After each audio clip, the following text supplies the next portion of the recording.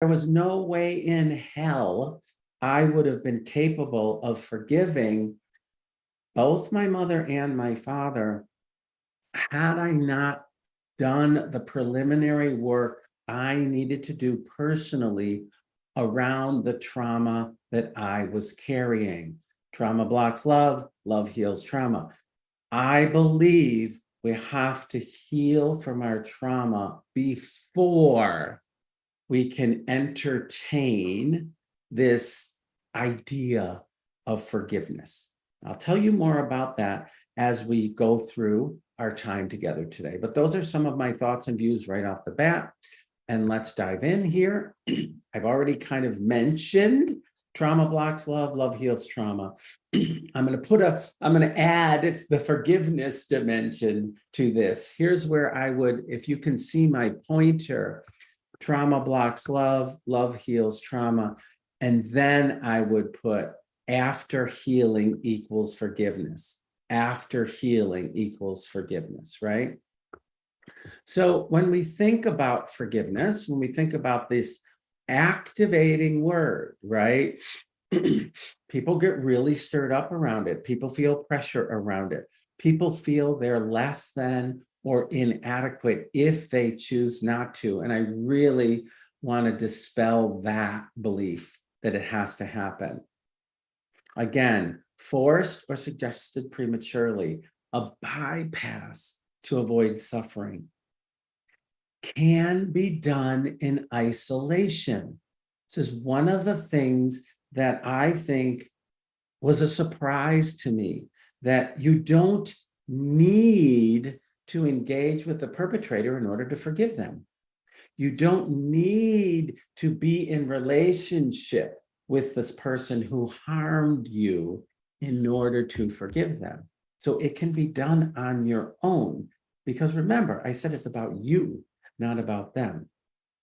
It can be religious or spiritually based, a second dimension of healing, which I talked about. You know how people talk about post traumatic growth, right? Growth after trauma. I like to think about forgiveness is post healing growth. We get traumatized. After we traumatize, we need to heal. After we heal, we can think about forgiveness. That's the way I think about that cycle. Okay. the overall components of forgiveness. Um, first, there's an acknowledgement that harm has been done, right? Before we rush to release it or let go of it or forgive the person, we have to be able to acknowledge the harm that was done. Okay. This happened to me. This exists. I acknowledge it. I had a very powerful um, experience with my mother yesterday while I was in Chicago.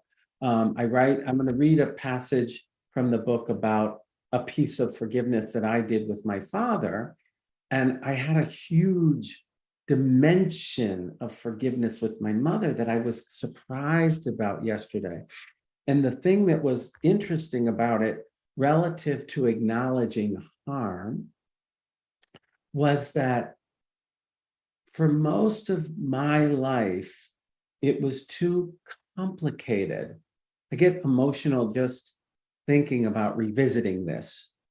It was too complicated for my mother for all of the reasons that were about her to acknowledge the harm that was bestowed upon me her son, who she loves dearly, because she had such a strong attachment to my father, my primary abuser.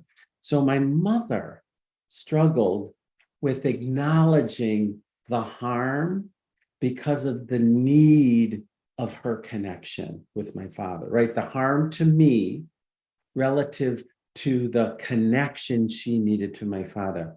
And it was only yesterday, for the first time in our lives together, that my mother was able to acknowledge yes, Frank, you have been harmed. You had a traumatic childhood. And yes, Frank, I love my husband. It was the first time she was ever able to do that. Right. And I said to her, Mom, is it possible to hold both? Right. And she was able to do that at 84 years of age. Right. People are capable of changing at any stage of their life. The reason that I bring this up was that I didn't need her to be able to acknowledge the harm that was done to me in order for me to forgive her. I'm going to say that again because I think it's really important. I didn't need her to acknowledge the harm that was done to me in order for me to be able to forgive her. Okay. I've, I, through my forgiveness journey with my mom and with my dad, I learned to hold the complexities and the limitations of both of them while being able to love them because that was about them and not about me. But the only way I was truly able to hold that position, holding my truth in the midst of their belief system, was by doing my own healing work first. 10 years ago, I wasn't capable of holding my truth in the context of somebody else having a different view, right? Holding my steadiness, my confidence, my truth in the midst of somebody else, someone in power, someone who I love, having a different view. So, this acknowledgement of harm done is an important piece of the forgiveness process. And not only is it an acknowledgement of the harm done, it's also acceptance of the pain and the feelings, it should say, and the physical sensations associated with the harm. That's where the healing comes in, right? We've got to be able to be with the thoughts, the feelings, the physical sensations, the pain associated with the harm in order to be able to forgive. Letting go of the anger and resentment of what we feel towards the person who harmed us is very different than letting go of the pain, the hurt, the thoughts, the distorted beliefs we carry about the trauma. I'm going to say that one again. Letting go of the anger and resentment that we feel toward the person who harmed us is different than the process of letting go of the thoughts, the feelings, and the physical sensations we hold relative to the trauma, because that's more about us. I'm bad, I'm wrong, it was my fault. I'm overwhelmed with trauma feelings, I'm going to die, um, I'm going to be um, destroyed. I don't, ex- I don't, I'm unloved, I'm unworthy, or whatever physical sensations, right? I hope you're starting to see the difference between healing trauma and forgiving the person who harmed you. Two totally different things. We shouldn't lump them together. this issue is a big one um, that I'm going to share with people, and we're going to talk more about later. I'm just going to mention it now. Is can you access or develop empathy and compassion for the person who has harmed you? empathy and compassion for the person who's harmed you. That's tricky also. Some people get really activated by me mentioning this, but we're going to talk more about this moving forward also. Then there's this separate issue around the process that you have for forgiveness around someone who harmed you is committing to a choice of whether or not you want reconciliation because you can forgive without having reconciliation, right? You can forgive somebody without needing to reconcile. You can forgive somebody and still choose to not have a connection or a relationship with them. You can forgive somebody and choose to have a connection and a relationship with them. But those are separate issues too. We want to break this all down, right? And then we move forward with choice and in a different kind of way. Okay, forgiveness as a choice. Some people don't need to. Some people don't want to. Some people don't get a chance to. And this is something that I think is really complicated. I was so lucky at the end of my father's life. And I really do see the opportunity for forgiveness as a gift because it was a true gift for me. It was a surprise. I wasn't expecting, I didn't think I needed, I didn't, I wasn't even striving for it, but it ended up being a gift that showed up for me personally. It may include confrontation. Okay. Forgiveness is not only about feeling empathy and compassion for someone who has harmed you. Forgiveness is not only about releasing the anger and resentment you carry towards them. Forgiveness may include what you need to say to the other person, not what they need to hear. Forgiveness is about what you need to say, potentially, not what they need to hear, because we have no control over what somebody else hears. We have control over what we say, right? And then you might choose to have ongoing connection. You may not choose to have ongoing connection based on how they respond to your reconciliation, to your confrontation, if you choose to do that, to your releasing the feelings you carry towards them. You can choose at any point in time to continue to have an ongoing connection or not, or not. Different models of forgiveness, as I mentioned before.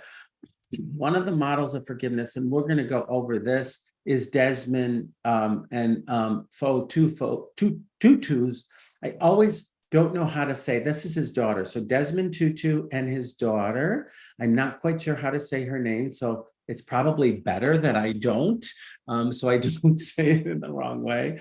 Um, have a four path model towards healing ourselves and the world around forgiveness. And I just think it's a beautiful model. They worked on this in regards to apartheid in South Africa.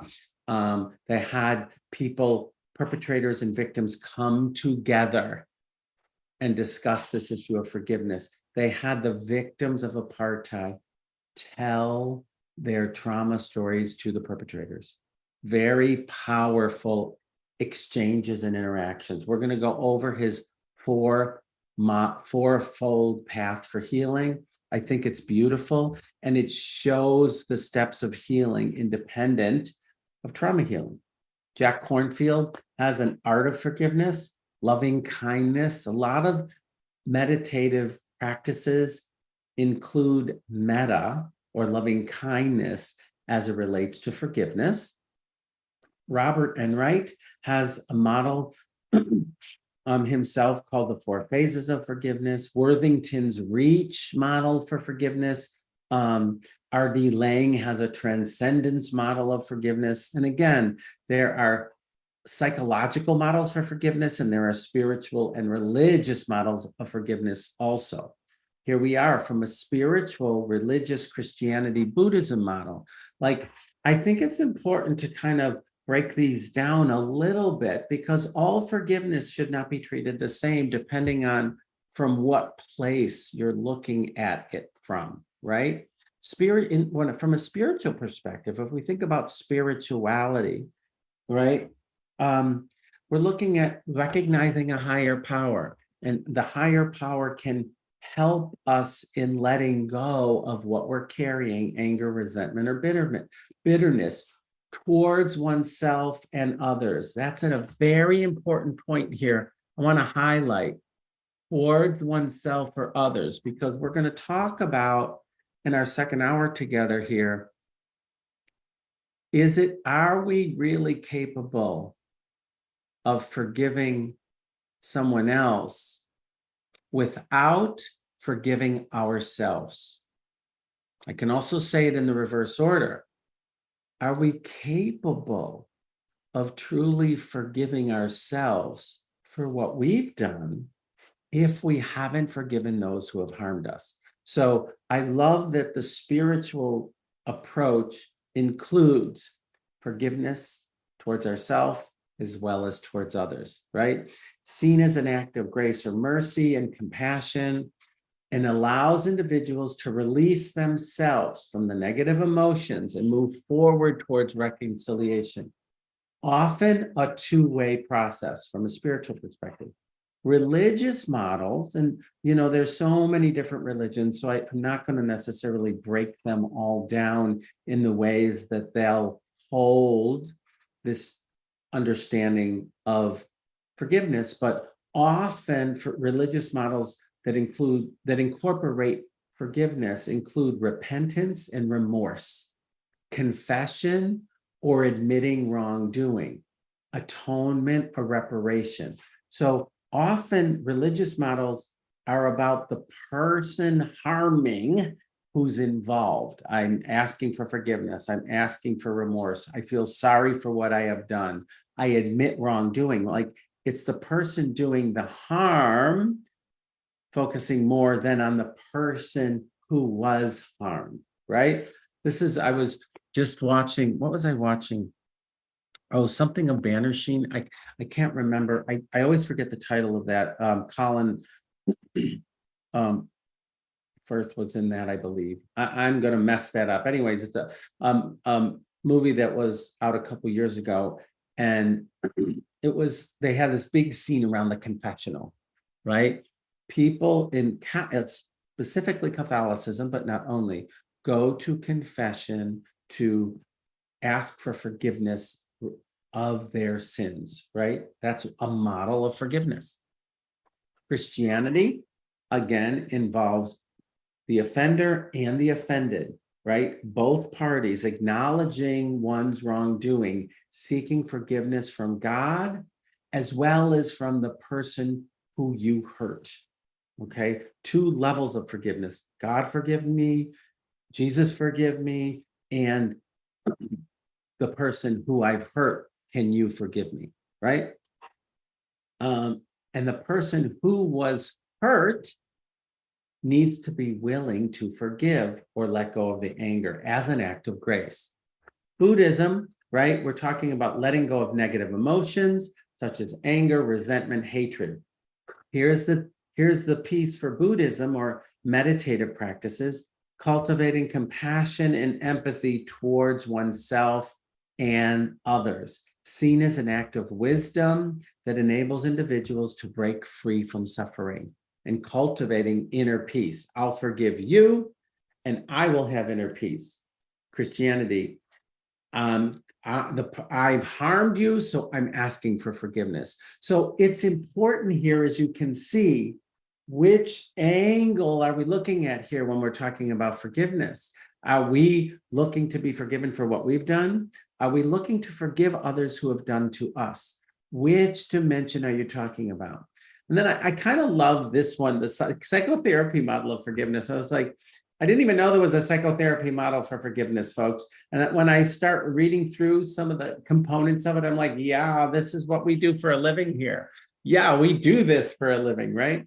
Exploring the process of your emotion, examining the beliefs and the values, exploring conflicts that arise um, in the forgiveness process, developing empathy and compassion towards oneself and others, recognizing the humanity and the fallibility in all of us, building communication skills, proactive listening, expressing needs, setting boundaries.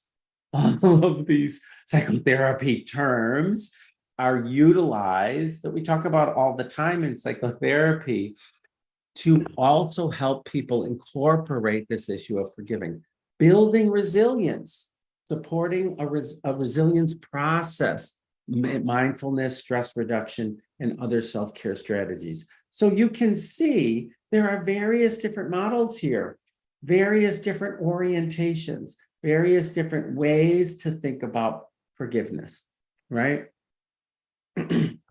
okay, let's just talk a little bit here about the harms of forgiveness, right? Let's not look at it all as like a silver lining here and everybody needs to do it because forgiveness can be harmful. It really can be harmful to people. It can lead towards healing growth and promoting improved relationships. um, it can be harmful when it's forced or coerced. Okay. I have to tell you, I have been guilty of this. How many times have I forced my children to forgive each other? Tell your brother you're sorry. Forgive your brother for what he did to you, right? In this bad parenting moment of Frank Anderson's way, right? We, because of our frustration and our difficulty in tolerating conflict, in tolerating difficult feelings, can push forgiveness, right? Pushing our spouse to forgive us for what we've done to them because we can't tolerate the idea and the reality and the feelings around hurting someone.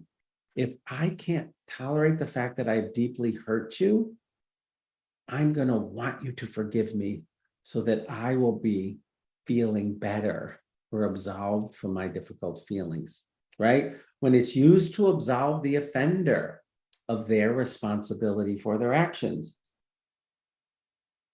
when it's used to avoid confronting people with difficult emotions and issues in a relationship, right? When it perpetuates a pattern of abuse, it's important, really important to pay attention to. In fact, forgiveness can be a power differential that is forced upon someone in a way that can be harmful and perpetuate trauma. So we've got to be careful when we're thinking about it, right? one of the things, and I'll tell you more about um, the process that happened with my mother yesterday, which was again very powerful for me. Um, how does your family work through difficulty? Or when you're working with your clients, very important. How did your family handle anger? How did your family process emotions, or did they? How did you work through adversity? My mother and I, yesterday, while we were kind of holding hands and crying, she said, Oh, Frankie, I wish we would have talked about this so much sooner. She said, But I'm always afraid of conflict. I've been afraid of conflict my whole life because I grew up without a father and I thought that if anybody was mad at me, they would leave me and I'd be all alone. Just broke my heart, right? Broke my heart. I was like, oh, mom, I totally get that. I'm afraid of conflict too. I was totally terrified that if I hurt or disappoint somebody, they would yell and scream at me and then I would be all alone, right? So, this issue of avoiding tough conversations doesn't allow us to move through to get to the point of forgiveness or not when we can't have difficult conversations. Was there a lot of yelling and screaming? Did people just shut down and not say anything, right? What was your experience with anger or revenge or confrontation? Did it include punishing? Uh, was your model of anger, attacking and mean and punishing, was your model for dealing with anger around empowerment in setting boundaries and being able to say no when something doesn't feel correct. How did your family handle grief and loss? Huge, because it's a big component of forgiveness, right? How did they handle loss? Okay. Um, what, let's do this. I'm going to stop for a moment before we talk about the different types of trauma and dive into forgiveness a little bit more. Maddie, I wonder if we have any questions? And I don't know if you want me to just look through the Q and A or you're wanting um me to go through the list. Do you have a sense of that, Maddie? Yeah, we have lots of questions so far, and um, if you open the Q and A, you should be able to go through and, and see some of the most upvoted ones. Okay, perfect. I will do that. Okay. Okay, so this is Ann Parks is asking a question. How does one forgive when the spouse was abusive because of their own struggle with sexual orientation? Oh my goodness, Anne, you're talking about my story right here. I like I have a friend, her name is Anne, and she's asking a question. Okay, and I'll tell you more about that in a moment. How does one forgive when a spouse was abusive because of their own struggle with sexual orientation, as my clients would say knowingly, prevented her from having healthy relationships because of her husband's abuse? So thank you for that question, Anne. Here's what I will say about that one. Because I lived it, um, one of the things that happened for me, and you can read about this in To Be Loved if you're interested or not, is I grew up and I started therapy at six years old. And I was in a form of conversion therapy because I got caught playing with a Barbie doll at a very early age. Back in the day, folks, being gay was a disorder. So I was sent to therapy for six years. And I was learning how to not be myself. I was learning how to act like a normal boy, right? I used to watch my uncles say, How are they acting? How, how that's the way a man is supposed to be, right?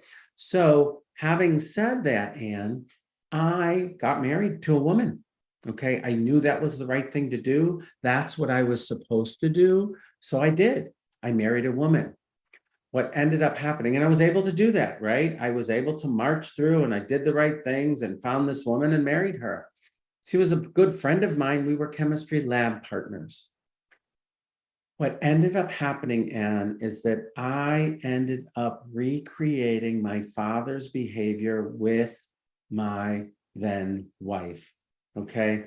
I became controlling, at times verbally abusive, and I married someone who was passive and accommodating, just like my mother. I became my father, she became my mother. Now, what I will say is that yes, I was suppressing my sexuality and was I taking my anger and frustration out at her? Absolutely, in a way. Do I feel bad about that today? 100%, right? She didn't need to be the recipient of my disconnection, my repression of my sexuality. Um, so I do hold a lot of remorse around that to this day. It was also interesting for me is that she ended up marrying me because of her own issues with intimacy and sexuality, totally independent of her orientation. I was a safe person for her. She was a safe person for me. So we co-created dysfunction in a way. Now I'm I take responsibility for my piece of that for sure. And you know, her and I have talked about what that was like for her, why my limited ability to be emotionally available was acceptable to her at the time based on what she was dealing with and what I projected onto her because I couldn't tolerate who I was and I wasn't honest enough with myself or with her. So I think there is a process there, and I think it takes two people to be able and willing to discuss that. Now, one of the things, Anne, if you're talking about a client who's, oh, you know, somebody who's trying to forgive their partner for being abusive to them, there is a way of differentiating what is mine here, what is my contribution, and really what is the other person's. So I would try to help your client, if that's who you're talking about, differentiate what is theirs and what isn't theirs. Because, and we know this for anybody who works with couples around infidelity, rarely is infidelity only one-sided. Sometimes it is, sometimes it's only one-sided, but oftentimes infidelity has an equal but opposite dynamic where both parties contribute in some way. One person shut down, the other person acts out, or whatever version, right? So I would see about your client's ability to explore their own issues, what they need to heal and forgive themselves for before they could think about forgiving the other person.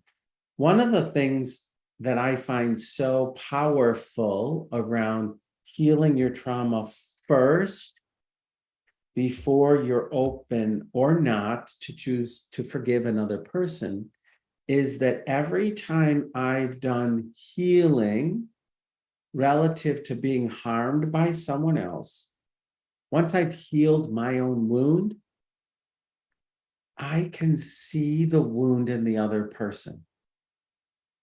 Okay, let me give you an example of that. With my father, the more I was able to heal from physical abuse, from verbal abuse, the more I healed my wound, the part of me that held that trauma,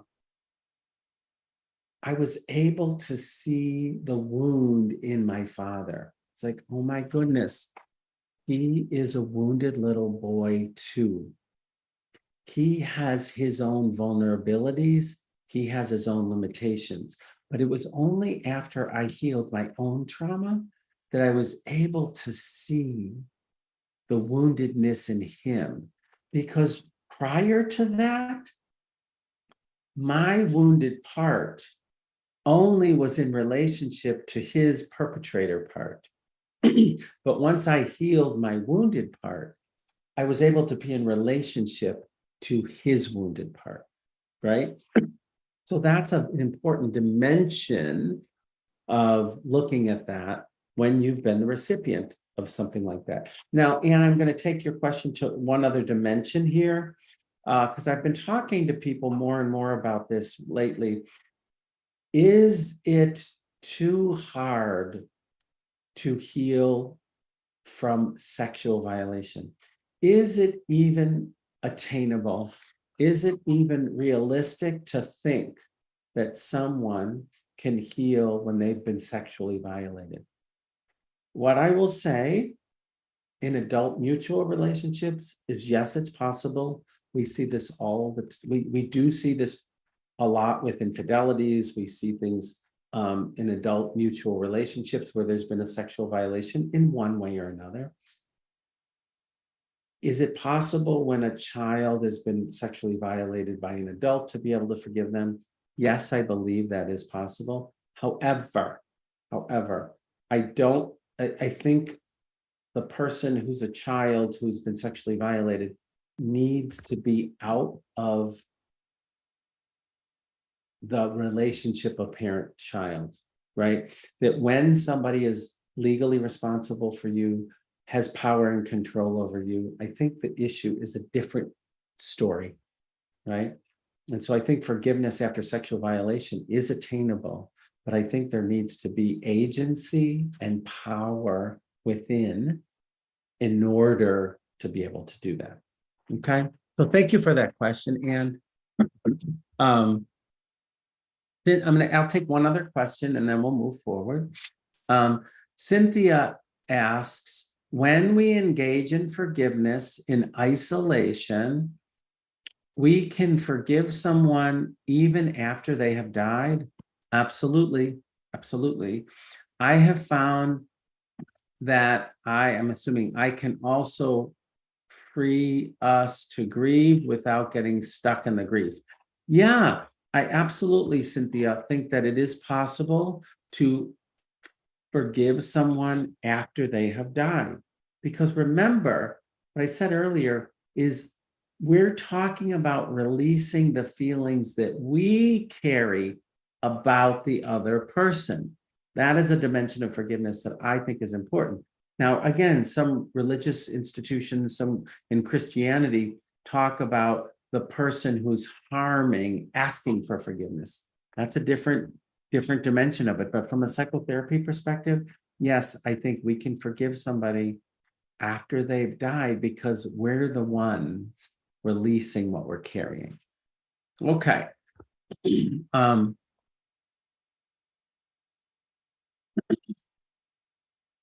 Uh, let, let's take one more and then we'll go and then we'll continue.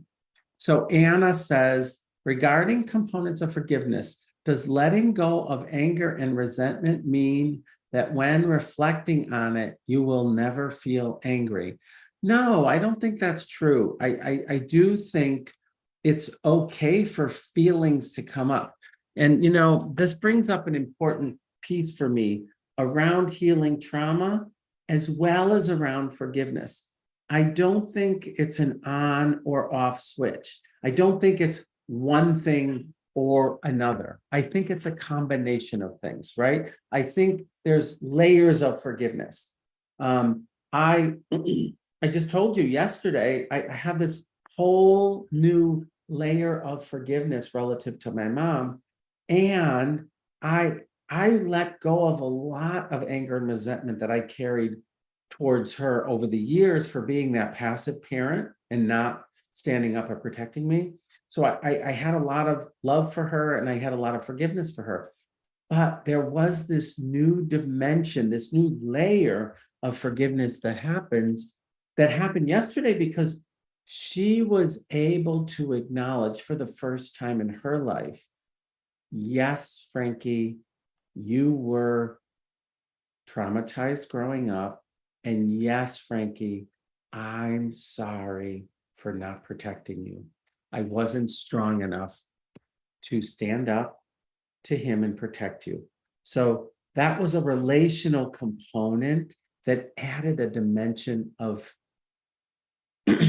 of forgiveness and of healing for us, right? So yeah, it's not like once you forgive somebody, you'll never have negative feelings about it again. Absolutely not. Things show up in our life. I think about healing is never a hundred percent complete, but layer after layer after layer. So it definitely can happen in my experience anyways. Okay, beautiful. So let's continue. See, I'll share the screen. And then if we think about forgiveness, right, we're wanting to think about um, the different levels of trauma, right? You know what, folks, before we do that, let me, um, yeah, let me do this. Uh, I'll continue. I'll continue and then I'll do that in a couple minutes. So when we're thinking about forgiveness, we're thinking about the different levels of trauma, right? What types of trauma warrant what types of forgiveness, right? Because there's different levels and layers, right? We can talk about acute trauma or single incident event. And what do we need to forgive around that? We talk about chronic trauma or PTSD, things that are more ongoing. We talk about that repeated relational trauma or, or complex PTSD.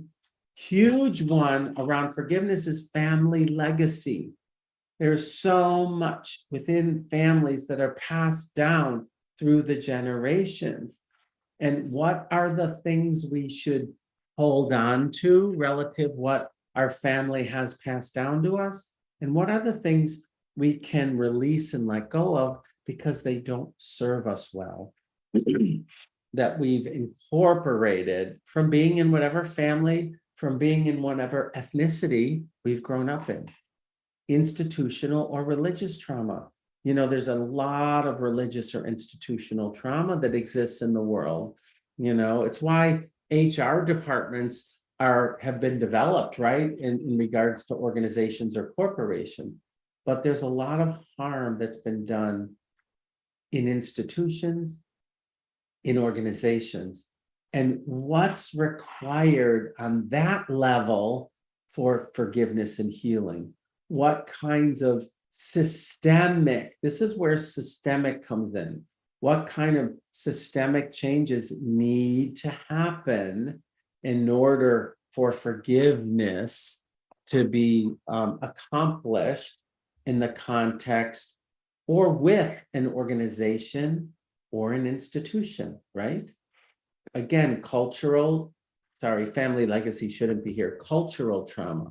So much trauma happens in the context of the culture and society we grow up in, especially when we're part of a marginalized community, right? For sure. So, what systemic changes need to happen in order for forgiveness to be attainable? Or what can I forgive when I've been the recipient of systemic trauma, right? And can I forgive culturally within the family if there are no systemic changes? Complicated question, right? And then, of course, globally, right? Um, how do we deal with the global effects of trauma? The way I like to think of global or systemic issues, such as institutional, religious, cultural, or family legacy, is this. If I think about the whole world, right? And if I'm using some principles of internal family systems here just for a moment, what is the self of the institution? What is the self of the family? What is the self of the country? What is the self of the world? Where is it located? How is it felt? How is it accessed? Where are the protectors within a family? Where are the protectors within an institution or a community or the world? Right? Where are the wounds in a family, in a culture, in a society, in an institution? So we want to look at marginalized communities, whether they're systemically in a culture, in a country, globally, or are we talking about in the context of a family, right? Who are the wounded ones? Who who are marginalized within the family system? So we want to look at those on a global scale, on a systemic scale, as well as on an individual scale, because there can be different dimensions of healing. When I forgive the person who I'm going to forgive the priest who harmed me or violated me, number one. I'm going to forgive the institution for ignoring it or supporting him over me. Two different layers, right? so there are a range of responses for all of us. We can repeat it, we can repress it, we can learn from it, and we can grow beyond it. And boy, folks, let me just share with you. I'm I haven't always been in the learn and grow from it phase. You know, I was certainly in a repeat phase for quite a while. I'll tell you this other piece that I mentioned earlier, and I wrote about this in the book To Be Loved also, was um, so I told you that I married a woman because of like doing the right thing and being like a man was supposed to be. I married a woman, I became my father. She was like my mother. And I reenacted that, you know, verbal control and abuse cycle in a way that felt horrible I hated myself for it. There was so much self loathing and self criticism, right? So then I came out at age 32. And my first relationship as an out man was with this dominant, controlling man. And I was the passive, accommodating partner. So I flipped and I recreated my mom and dad cycle. But on the other side, right, I became passive and accommodating. He was controlling and dominant. And I was like, holy crap, Frank, that didn't work well either. Let me just tell you. so I repeated the other side. And I was like, let me tell you, I'm running out of options here. Tried my dad, tried my mom. What the hell am I going to do? And it wasn't until I really healed enough of my history that I was actually able to choose from a different place within me where I didn't repeat my father's pattern and I didn't repeat my mother's pattern. I chose from a different place, but it took me a long time to not repeat and to not repress it, to learn and grow from it. Okay. Let's look at resilience here a little bit. Then we're going to talk about self energy. Then we'll take a break. 15 minute break. So the role of resilience, I have to tell you, spent a lot of time looking at this subject of resilience because I never fully understood why did I overcome my trauma? Why was I driven to go to therapy? Why, even though I repeated, was I on this constant cycle to approve myself? What was that to get above and beyond what happened to me? It's this issue of resilience. And, you know, I try to think, where do we get it? Are some people just born with it? Can you cultivate resilience? Like, what are the elements to it? And I really do truly believe I'm a highly resilient person, but I don't know who made me that way or why I became that way. Maybe it was because I did have one parent, even though she betrayed me by keeping our family in a kind of this environment, I really truly felt loved and special by my mom. So maybe it was because I had that one, at least that one special person. But when I'm looking at resilience, I'm looking at can the person form a meaningful connection? Can they tolerate uncertainty? Can they be with difficult emotions? This is so hard for so many people. Don't feel sad. Don't feel upset. You shouldn't feel that way. How are we? What is our capacity to be with painful emotions? are we willing or capable of learning from difficult moments? Or do we want to repress them? Can we see the value in someone outside of ourselves? This, for me, is a very important quality around seeing the other person's point of view. Can we acknowledge our own vulnerability? Some of the people, in my experience, doing therapy since 1992, is the people that are the most resistant for change are the people that get stuck in blame and can't take responsibility for themselves and their actions. It's one of the most toxic traits in my experience is one's inability to step outside oneself, put oneself in somebody else's shoes, see the situation from another person's point of view. If you can't do that, that really sets things up for a struggle around change. I'm not going to say it's impossible, but I'm going to say it's much more challenging.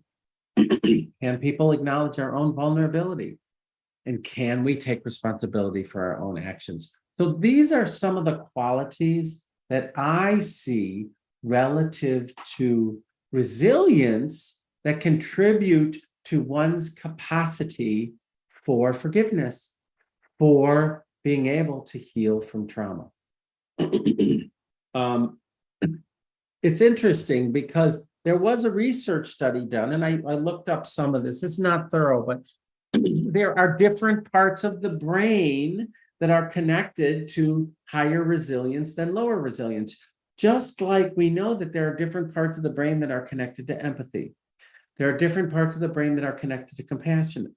But there's also parts of the brain, the hippocampus, um, the central executive network, the limbic regions that are connected to this issue of resilience, our capacity to regulate emotions through the prefrontal cortex. Everybody knows down regulation that contributes to resilience, right? okay. Rick Hanson has a model around resilience that I really like also. And he talks about something that Viktor Frankl talks about. I'm reading that book again, Man's Life for Meaning, um, around agency, around can I help someone else despite my own suffering? Very powerful when we think about resilience, rising above, moving beyond our pain and hurt is there something bigger here?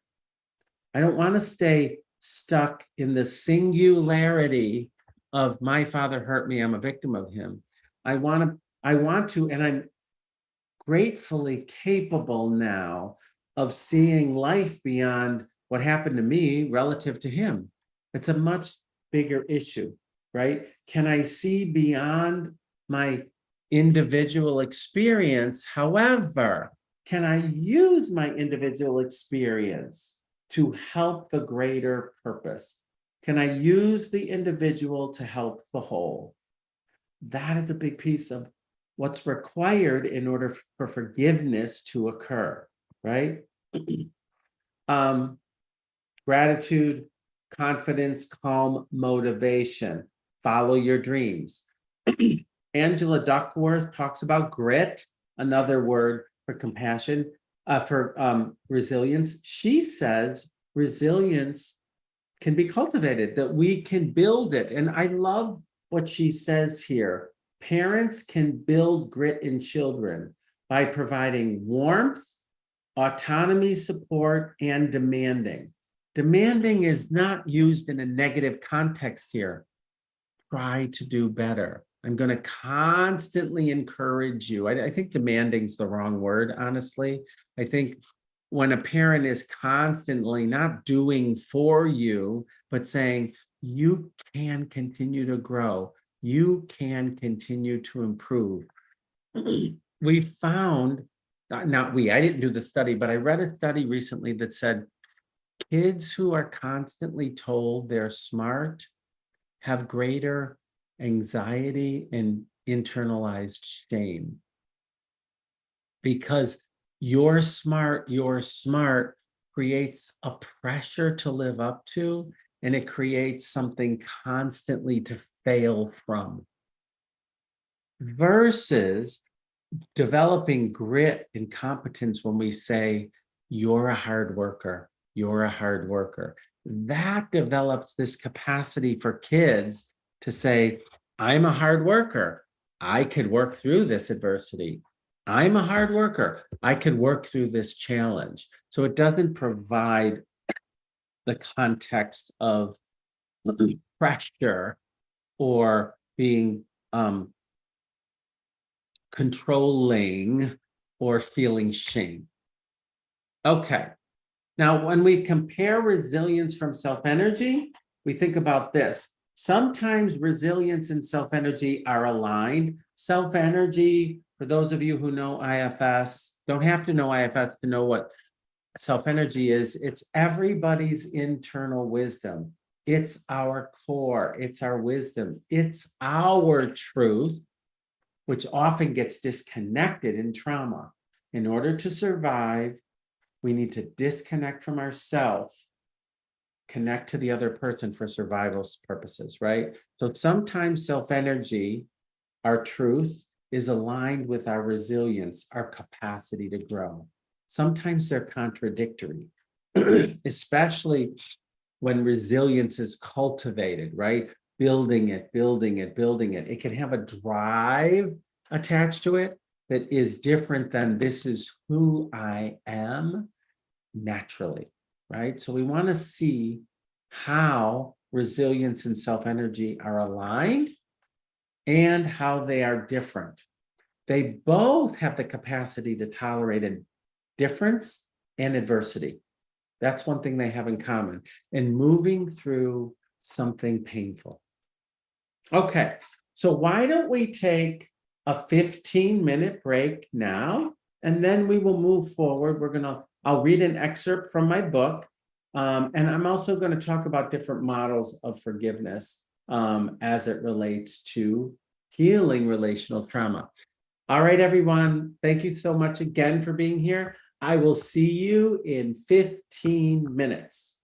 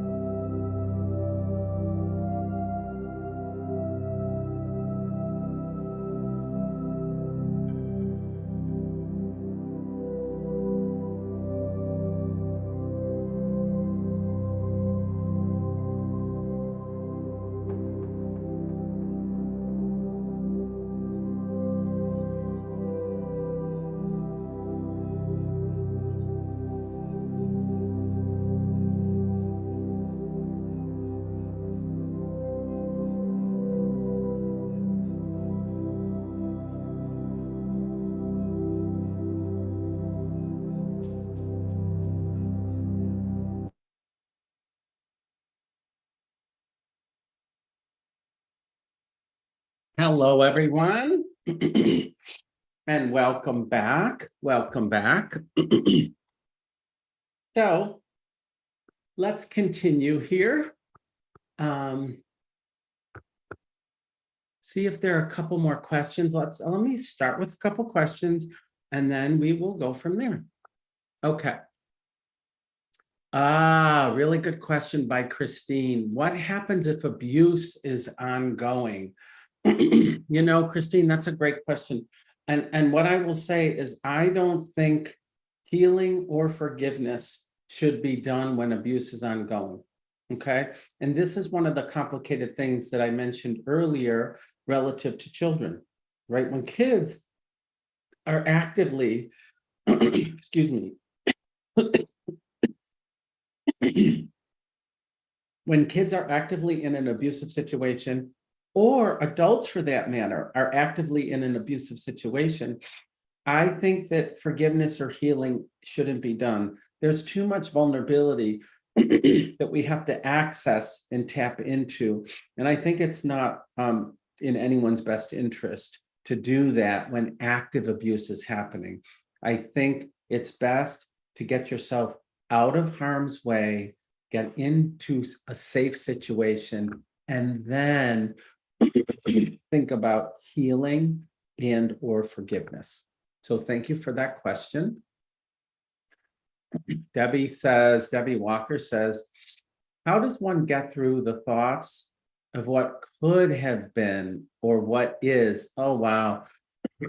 Thank you, Debbie, for that. What I could have been if X did not happen, and how does one forgive themselves? Is this a choice in recovery? So, two really important questions here. The first one has to do with grief, and the second one has to do with healing. Sorry about that. Got something stuck in my throat. So Debbie. One of the big hallmark components to the end stage of healing relational trauma is is loss and memory and grief. Like, wow, my life could have been so much different had I not been in this family. My life would have been so much different had I had not chosen this person as a partner, right? And that is an important component to healing. Once you've released what you're carrying, thoughts, feelings, and physical sensations around the trauma, then you want to think about the grief and the law, the years lost relative to um, what could have been. That's a normal part of the healing process. So I think it's about staying with the feelings. Don't rush the process and don't push it through, but allow that sadness to be acknowledged because it's true. In my experience personally, like, you know, someone, I came out at 32 years of age. And I told you earlier, I had, you know, was in this kind of suppressive conversion therapy as a kid. I was taught to not be myself for many, many years, and I was a good student, so I listened to all the things and did all the right things. It was, I had 32 years of not being myself, right? And was there loss attached to that? 100%. Did I see and feel the way people in my family, my brothers, my friends were able to move on in their life in a way that I wasn't? 100%. One of the things that was the most striking for me, and I write about this in To Be Loved, was I was 32 when I came out. All my contemporaries were like married, raising children, do living their lives, traveling the world, all this kind of stuff. I was like an adolescent, like developmentally, because I had missed so much. I was like a teenage kid. I was like having a real relationship for the first time in my life. I was dating people in a way that a, a sophomore in high school should have dated. I was put dressing, I swear to God, I got rid of my beard. I got rid of my suits and ties. I was living this fake life, right? This Harvard professor fake life. Once I came out and I started becoming myself, I dressed actually the way I wanted to dress for the first time in my life, not the way I was supposed to dress. So I kind of felt silly being like a 32 year old adolescent. I went out to bars and I was dancing and, you know, drinking, not a lot of drinking. I've never been a big drinker, but I was partying. I never even did any of that stuff. So there was making up for lost time, but there was a sadness around, wow, you missed a lot here, Frank. The, however, the thing that I will say that counteracted it for me, and I wasn't forcing this, it happened more natural and organically, was there was so much more to look forward to finally being me. That even though I felt the loss, it didn't dominate me, it didn't take over my life because there was so much new happening to me. I'll, I'll tell you this quote, and honestly, it, it, I just, it brought me to tears when someone who read an early version of, of early copy of the book said, I, he said, Frank, would you mind if I get this tattooed on my arm? It's like, what are you talking about? He said, there's a line in your book that I can't get out of my head. I, I wanted nothing more than to have people relate to this issue of forgiveness, relate to this issue of healing trauma. So for him to say he wanted to have this statement tattooed on his arm was like life change was uh, brilliant for me, beautiful. He said, when I was talking to my wife, when we were ending our relationship, when we were getting divorced, she said to me, Frank, why did you need to run away from me so fastly and so extremely when we got separated? After eight years of marriage, by the way. And I just said to her spontaneously from my heart, Oh, oh, honey, I'm not, I, I was never running away from you. I was running toward me. And that was the line that this person wanted a tattoo, right, on them.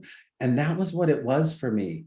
I wasn't running away from her. I wasn't running away from my life. I was moving toward me for the first time in my life, right? So we, even though sadness is there, the more you release of what you're carrying that doesn't belong to you, the more you're able to move towards something that's rich and filling, aligned, and feels good. So feel those feelings and move forward.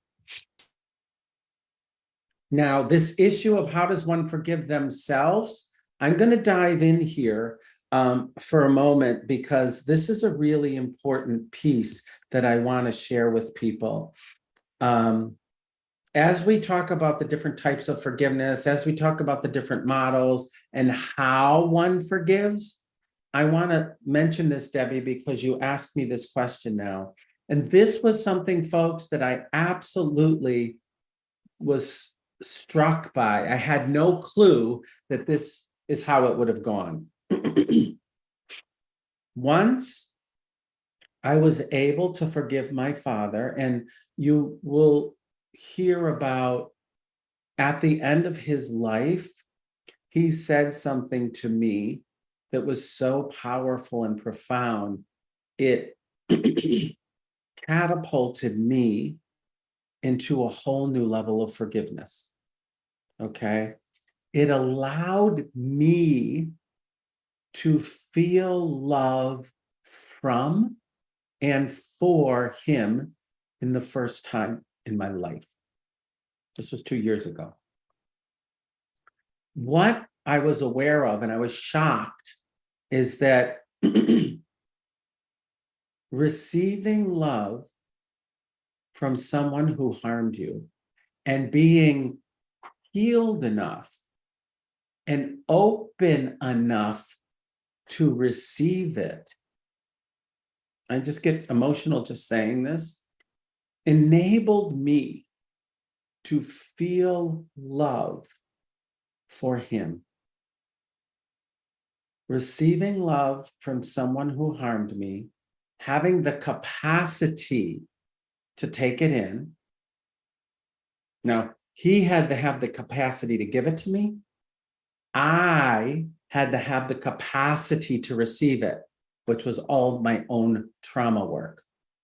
Enabled me to feel love for him. And I will say, folks, for so far there are a, a handful of things that are standouts in our life, right? We all have moments that are standout moments. Loving someone who harmed me has been one of the most freeing experiences I have had in my life. To truly love someone who's harmed you shows the freedom, the lack of tethering, the no longer tied to this person in a traumatic way. You are connected to them at a different vibration, no longer a connection of trauma and betrayal and hurt and violation, but you rise above the trauma and you're connected through love. That is freeing and powerful to no longer be affected by what has happened to you. And that was for me. and I felt that so powerfully. Um, and I don't even know that my dad was aware of that. That was all my own experience. He probably was. He probably felt the love from me. In a way, I would say that's probably true. So, this idea of loving someone who harmed you, truly being able to be free of it, no longer being tethered by trauma, then enabled me to forgive myself. It was only then that I was able to forgive myself for the ways that I have harmed others. And again, this was a total surprise for me. I was not expecting this. I was very critical of myself every time I had a bad parenting moment. I'm like, damn it, Frank, you're, you're a psychiatrist, you're a therapist, you know what healthy is. You do it for a living. You teach people on a daily basis. And every time I would yell or lose it with my kids, I'd have such self loathing. You know, how could you do the very thing that was done to you? Painful for any trauma survivor to do the thing that was done to them. And I did that with my children. I did. I became a version of a perpetrator to them in the way that I was perpetrated upon. Not to the same degree, but enough to make me hate myself. Enough to make me hate myself. And it was only after loving him, freeing myself of the trauma bond between him and I, that I started forgiving myself. I'm like, Frank, you are doing your best. You are not your father. And I was able to apologize so much easier. I am sorry for harming you, kids.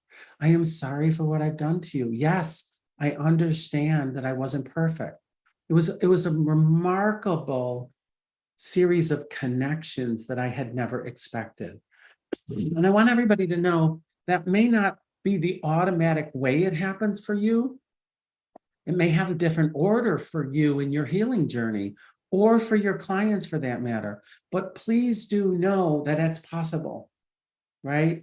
And that if you choose forgiveness, if you choose to repair and untether the trauma bond, you can relate on a different level. You can have a different relationship with someone who harmed you, even if they can't have that same relationship with you. And it frees you up to stop judging yourself and to open yourself to forgive yourself. You know, we are all, we have all been harmed and we all harm. And if you're out there and you say you've never harmed anybody, let's have a conversation because I don't believe it. I think we've all done both.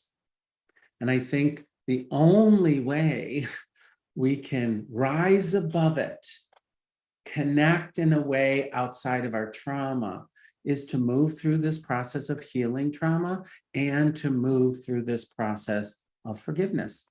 Okay. I wasn't expecting it. It's what I experienced. And again, different people are going to have their own journeys. I've worked with several people since this happened with me who have come to me because of working around forgiveness with people who have died, for example, and the process of helping them go through the forgiveness journey when the other person is no longer on this earth is is doable, you know, based on what I've experienced. So thank you for that question, Debbie. I really do appreciate the forgiving ourselves is just as important, if not more important, than the process of forgiving someone who harmed us. But how are we going to forgive ourselves when we've internalized perpetrator energy? We all do. And how do we forgive ourselves when we're acting like someone who's harmed us and we can't forgive them? Right? I think about these things love, connection, and unity. And the unity piece, folks, is something around crossing the divide, crossing the divide between the us and them, the perpetrator, the victim, the blue side, the red side, whatever divide you want to get into. There's a process, I believe, of love, acceptance, connection, forgiveness on both sides that needs to happen in order for us to rise above it. Okay. Um, let's move on. Thank you for that question. Um, all right, somebody's asking about some steps, so I want to give you some steps as we move forward here. All right, let's look at comparing we, we talked about resilience and self-energy and you know, resilience can have a driven quality to it. And when resilience is driven, when resilience has an energy of striving, it's different than self energy because self energy has love and acceptance. Resilience is working through hard. So sometimes they're aligned, sometimes they're different. Both are important. and I already talked about this self energy, our internal wisdom, our souls, our capacity for healing, our connection to source. When we're in a place of love and compassion, we have more capacity for forgiveness. We don't forgive from a place of I should or I have to or I can only receive love if I forgive. If there's conditions attached to it, it's not going to be authentic or lasting, right? It's when forgiveness comes from free will, when forgiveness comes from a place of love, it has a whole different quality attached to it. Okay, let me move into, hold on one second. I just want to move into the, these different steps here. All right.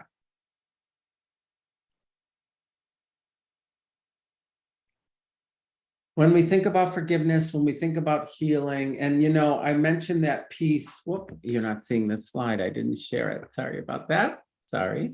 I'm talking with the next slide up, and you haven't seen that next slide yet.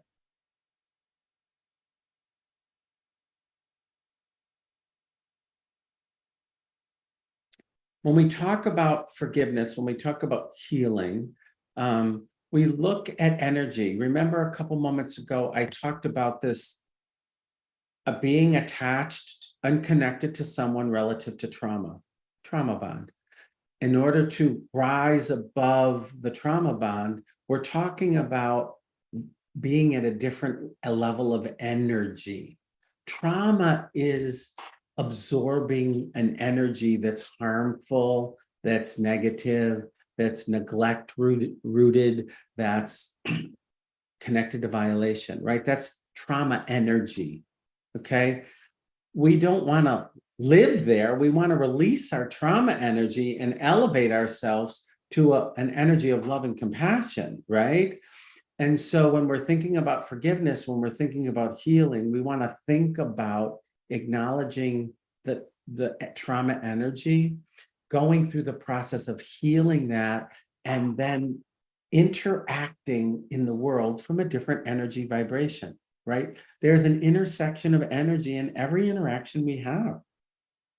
Whether we're out in nature, whether we're having a relationship with somebody, whether we're connecting spiritually, right? There's whether we're with a baby, a newborn baby, whether we're making love, like those are all energy exchanges.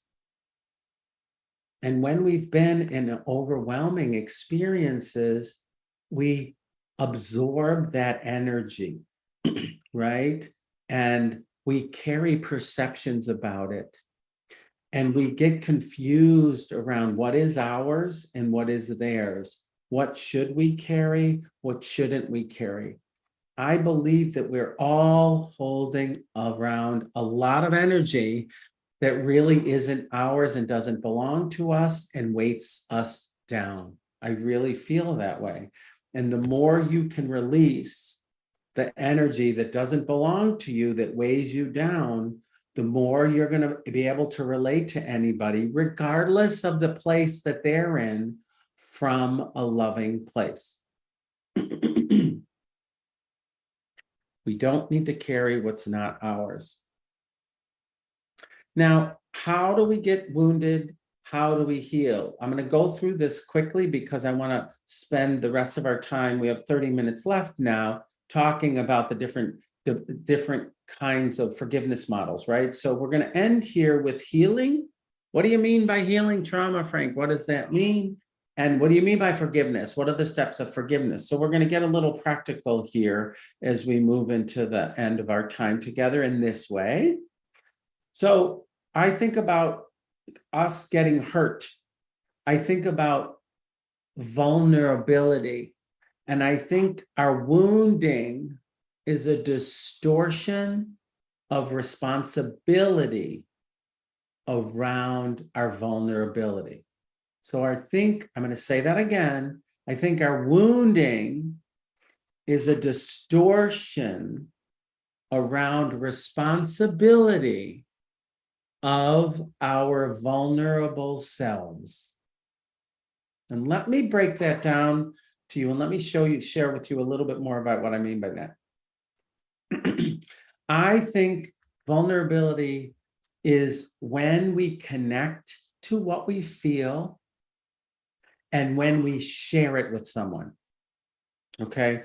I told you I was a little boy and I got the first chapter of this book. I was a little boy.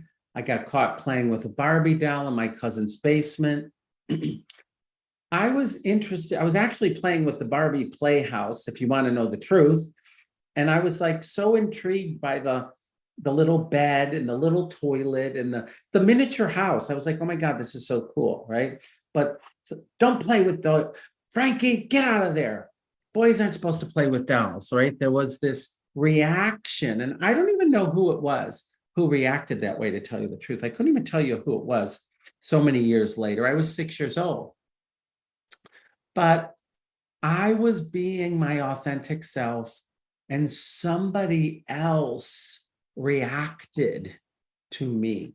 So it was the reaction of the other that caused the wound in me because when I heard that harsh tone and critical voice, I was I immediately said, "Oh my God, I'm bad. I'm wrong. I shouldn't do this." Right? So I was being my authentic, curious self, but the other person's reaction I internalized, and that created a shame wound. It created a profound shame wound as I'm wrong, I'm bad. but it's the distortion of somebody else's response as opposed that I internalized that created the wound. When I think about the components of healing, I think there are key steps to this, okay? Regardless of whether you're a therapist or not, regardless of whether you are someone who um, is out there doing your own healing journey or you're helping other people heal. I think there's a sharing, a disconfirming or a corrective experience, a release, and then moving forward. So for me, healing trauma has these components attached to it. Share the experience. That little boy, Frankie, shared with me and my therapist what it was like for him in that moment. Okay. Then, once the sharing, and it's not just the story, folks, it's the thoughts, the feelings, and the physical sensation. Then there's a corrective experience that needs to happen. That little boy felt loved and seen by me and my therapist. There's nothing wrong with you. You did nothing wrong. You are good just the way you are. A corrective experience. Then release is possible. Then that little boy doesn't have to carry the shame of somebody else's comment any longer. And then there's a capacity to move forward. So here's what I think needs to happen when we hold trauma. We share the whole experience, not just the story, thoughts, feelings, physical sensations.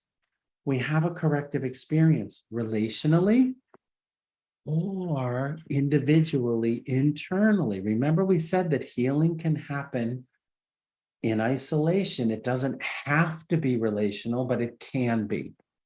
Then release is possible once that happens. Then we could move forward and choose, move forward and choose forgiveness around the person who harmed us if we want to. Okay?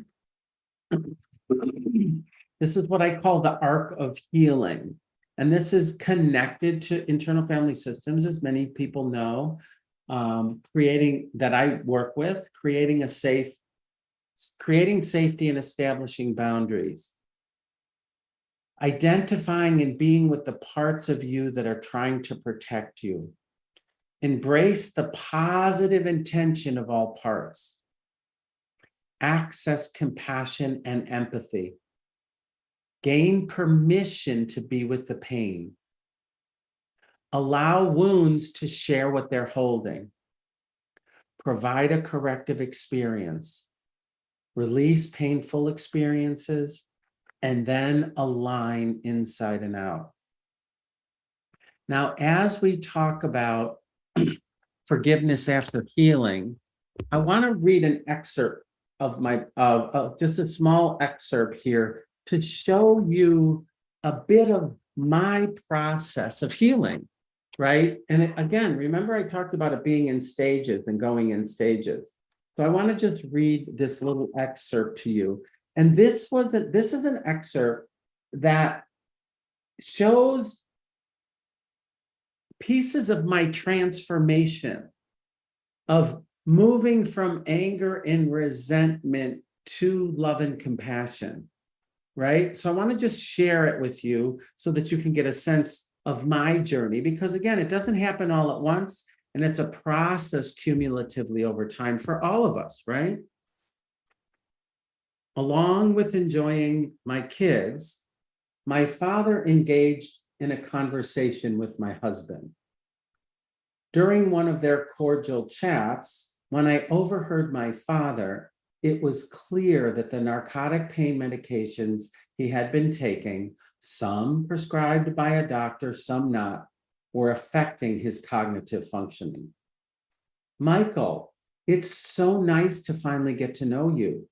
You're my kind of person. What a relief. Michael fell into the good people category. Thank you, Lewis, said Michael. Not mentioning the fact that they had known each other for over 22 years by that time. You know, I've saved a lot of money over the years in my career as a pharmacist, my dad continued. I've been thinking that it makes sense to leave more money to my girls. They've been so good to me. They're always coming over, constantly bringing me things to eat and doing stuff for me around the house. It's the only logical thing to do. Well, Louis, it's your money after all, Michael said. You can do whatever you want with it. Overhearing this, I bit my tongue. You son of a bitch. You still want to try and control us from the grave. You're just like your father, cutting his son out of the will for getting divorced. Once again, he was showing favoritism in the family, just like he had done when we were kids. But then, much to my surprise, my mindset shifted and a sense of calm took over my body. I'm not going to let this consume me, and I'm not going to let this ruin our trip together. Let my sisters have the money. They do do so much for my parents. I'm happy for them. The work in therapy was finally paying off. I was done carrying around anger and resentment towards my father. It was important to momentarily acknowledge what I had felt, but it was even better not to hold on to it any longer. The freedom of letting go is intoxicating. During our visit with my, during our visit, my husband and I slept in my childhood bedroom. The room remained remarkably unchanged. The red, white, and blue soldier wallpaper, the dressers, the bookshelves crowded with trophies and pictures of our childhood. Even the hinges on the push button door and the lock, eh, even the hinges and the push button lock on the door remained the same. The only difference was that the twin beds had been replaced by a king size bed, and Grandma Florida's favorite rocking chair sat in the center of the room. But during this visit, I didn't have any flashbacks or nightmares. I didn't wet the bed. I didn't even feel hatred towards my father. Instead, after Michael and I reviewed the events of the day, I cuddled up next to him and peacefully drifted off to sleep.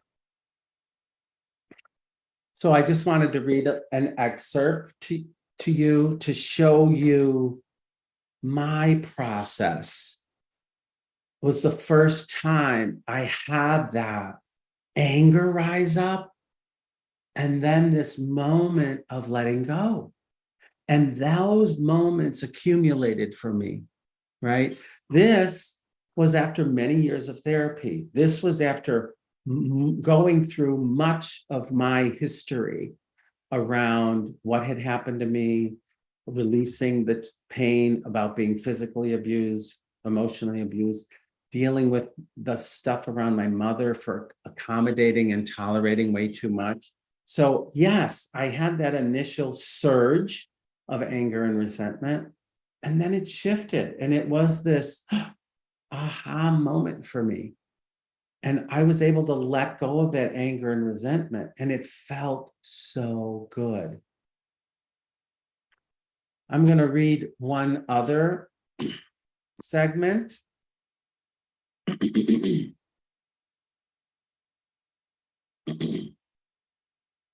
And this is a second piece around my process of forgiven. This was a second trip after going back to help care for my father while he was ill.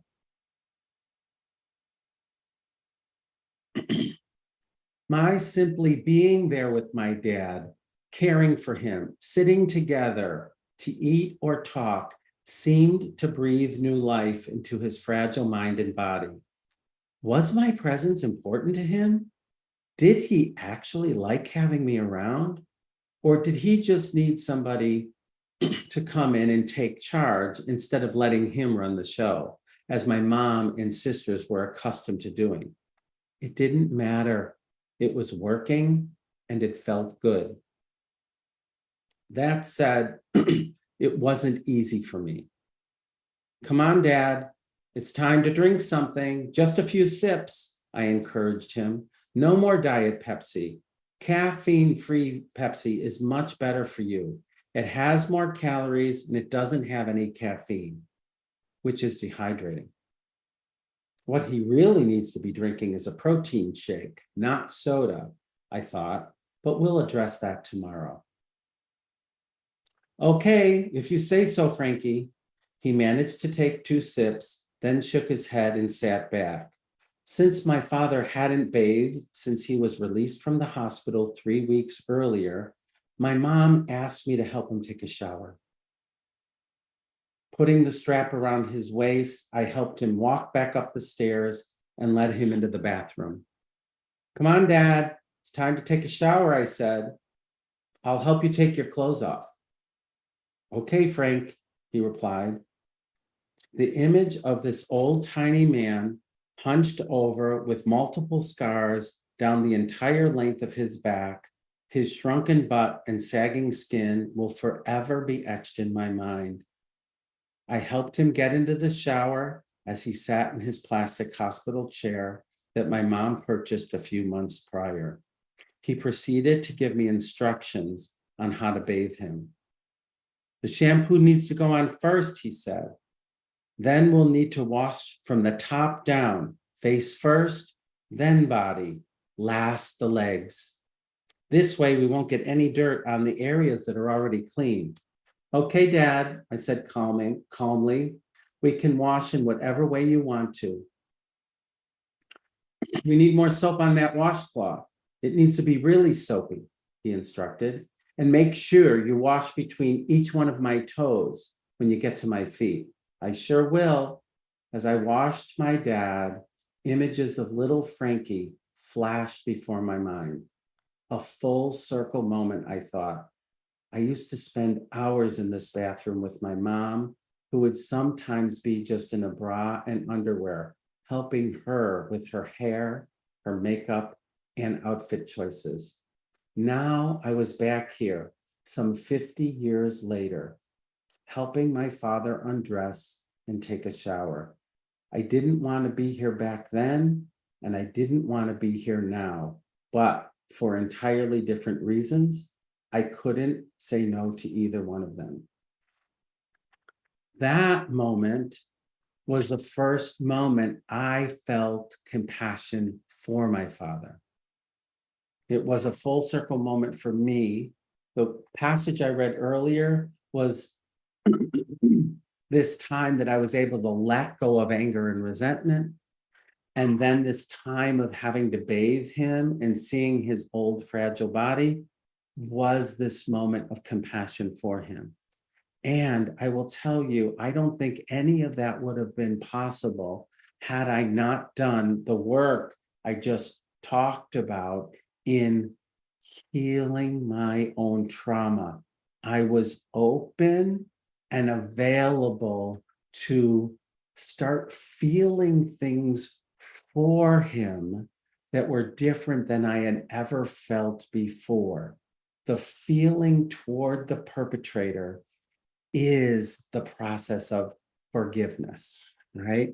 So now let us finish here in our last time and talk about those steps.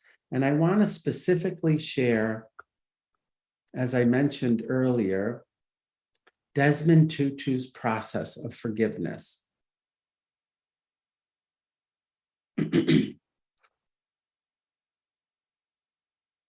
Desmond Tutu talks about forgiveness after healing. Oh, Hold on a second. It's ineffective it's if it's premature. We, I recommend we wait until the wound is healed. We release what we carry around the trauma before we're going to release what we carry around the other person.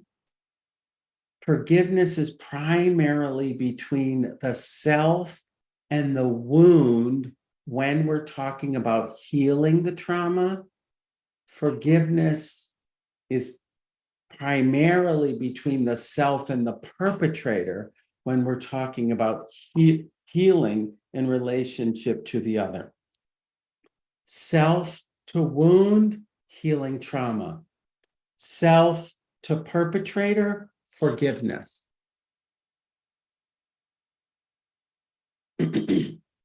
What, where are we here? Okay. Desmond Tutu, as I talked about, talked about truth um, and reconciliation. Um, we all have, he said, we all have painful experiences in life, and we all have control over our response to them. And I just love this. We don't have control over what happens to us. We have control of how we respond. And I would add to ourselves as well as to those who have hurt us. We can choose revenge or forgiveness. Forgiveness is often seen as weak, saintly, soft, not having accountability. However, it sets us free.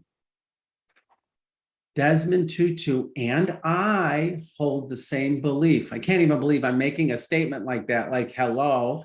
But I mean this in this way no act that can't be forgiven. This is somebody who's looked at horrific things that have happened in the world. And for him to say, no act can't be forgiven is a powerful statement. I happen to believe that also. No person is unworthy of forgiveness. Now, that may challenge some of you out there, but I will share that I hold this truth. We often need to forgive ourselves for what we have done.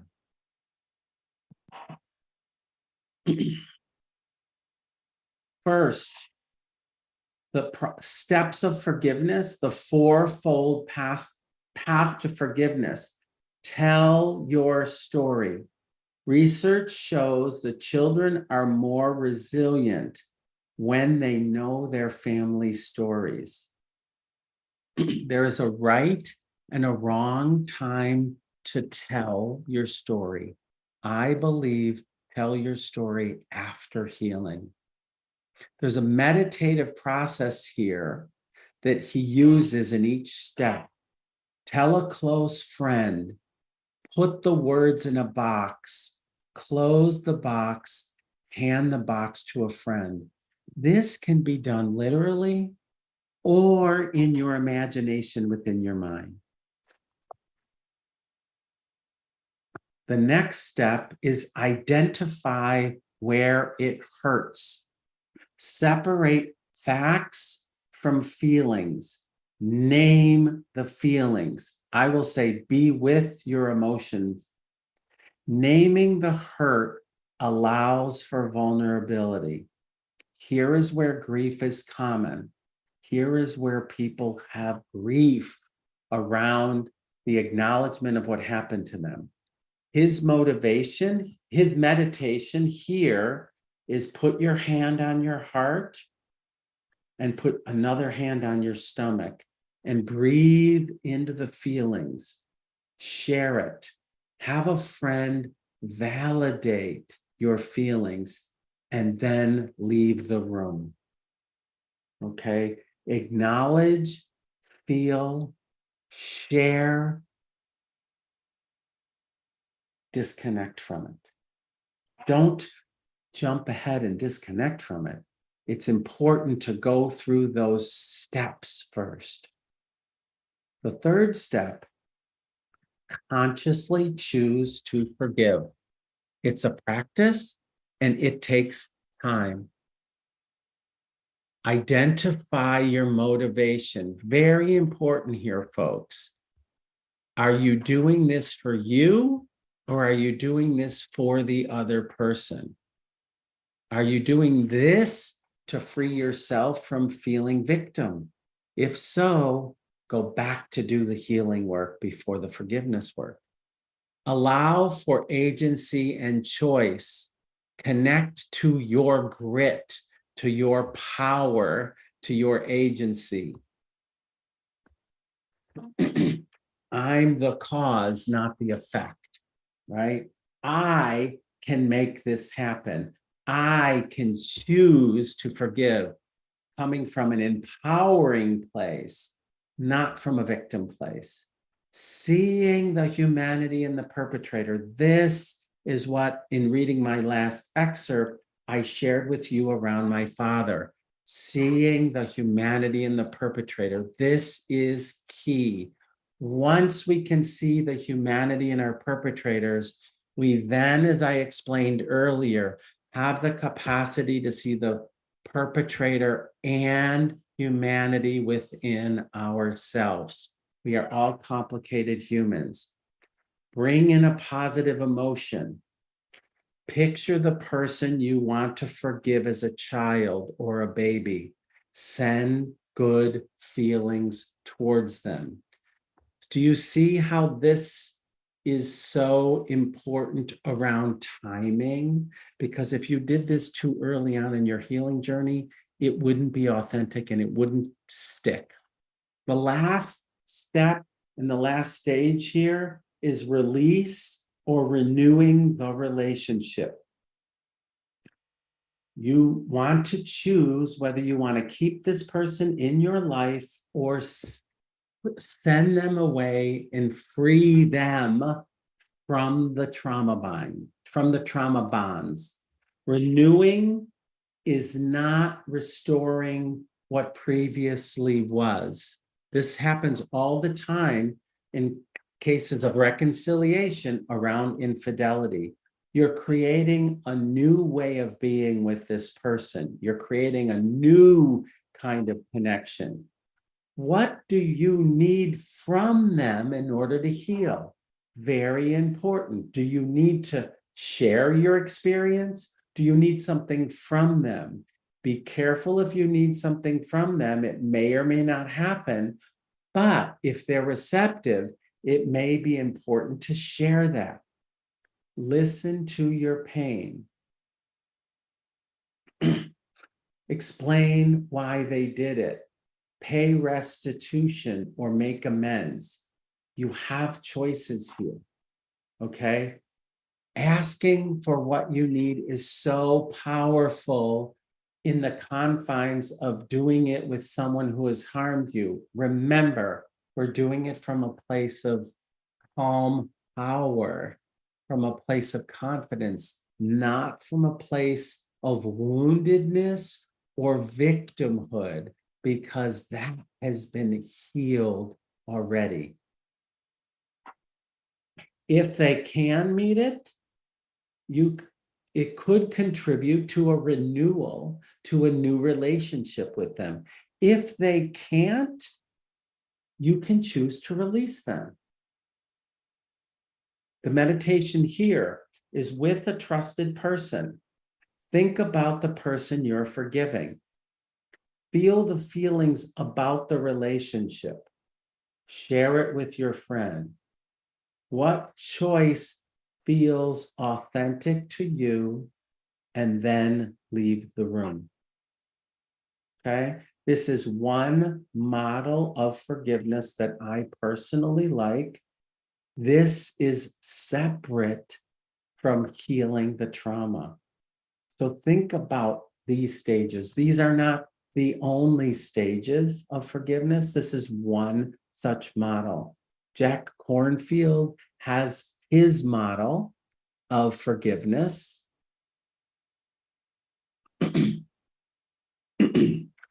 and religious institutions have theirs.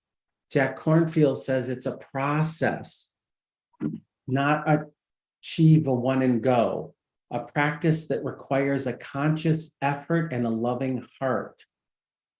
It's not forgetting, it's acknowledging the hurt and the pain and letting go of the resentment and the anger. It's not condoning, it is letting go of the suffering and releasing the burden. Loving kindness is key. towards ourselves and others. It is a gift to ourselves, not just an act of kindness towards other. It's freeing ourselves from the burden and living a more peaceful and fulfilling life. It's a process, not a one-time event, and it happens over time. A willingness to keep on practicing. So I just want to say to everyone before we close, thank you so much for being here with me. Honestly, my heart is open. I do believe that this is possible. I think every one of us can do this. I think we can teach people to do this. I think it's possible. I think it's achievable. And I don't think we do this in isolation.